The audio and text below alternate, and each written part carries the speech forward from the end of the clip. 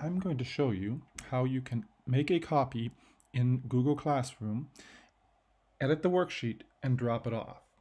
So sometimes teachers, students, they have different versions of Word, or they're at a school computer in the library or their office or a laptop.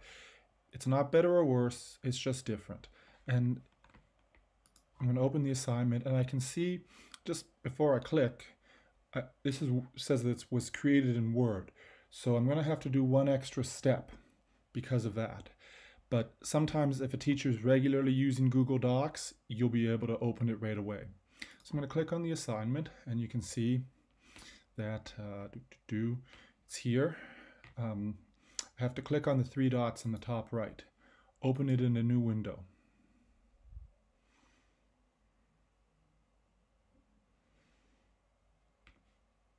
And uh, because it's in Word, because I can see the little W, because I can see the .docx extension, I'm going to have to click on Open with Google Docs, and here it is.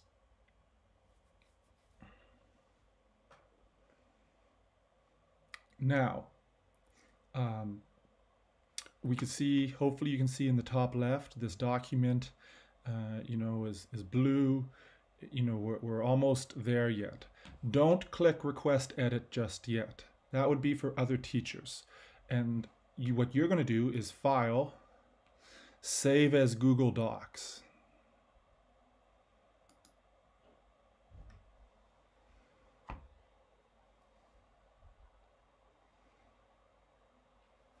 And be sure to name it something um, unique it's good to have your name in it so the teacher knows who did what. And it's good to have the name of the project in it so you know what subject is for which. Uh, and now it's ready to type in. And you can type. You can see some text there. One thing you might want to do when you start working on this is just close the two previous steps just so it's no not confusing which version you're working on. So when you're done, you know, you can close it. And here it is in my Google Drive. It, it, it's here. Now, sometimes you might have a teacher who's working with um, Google Docs already. And when you open it in the classroom, it looks just like this. You don't see any DOCX, you don't see a little W, you just see the Google Docs. What, what you can do with that is just if you if I wanted to copy this, uh, I just go File, make a copy,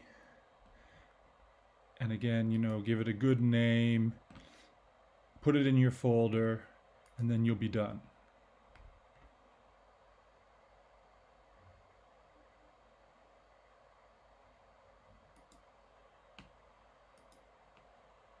So now I'm going to go back. Now that the assignment is done, you know, I'm going to add work.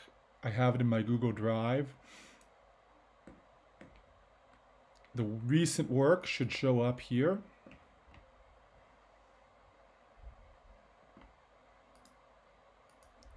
And if you know you're in a group project, you could say I also worked with, you know, write the, the other student's name so the teacher knows and then when you're done you turn it in and it's good to go. So sometimes you know I've realized that students they realize that they want to add something afterwards. Say you've dropped it off and then I realize on the next day oh it's not quite finished yet.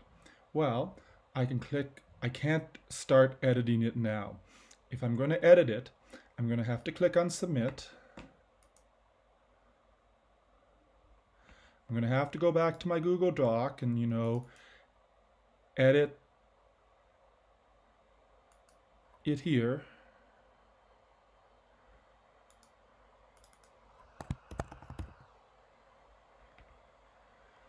And after I've made my changes, I can again turn it in. Remember to click confirm. And now it is done. Thank you.